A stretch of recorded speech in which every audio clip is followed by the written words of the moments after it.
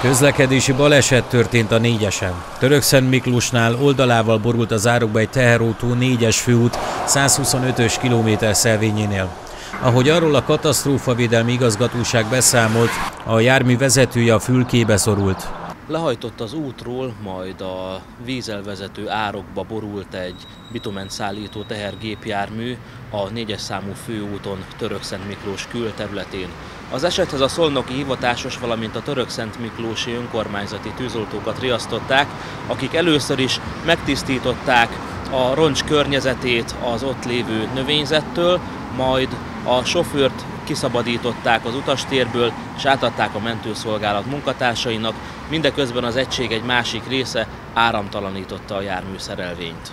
A balesethez a társhatóságok is kiérkeztek.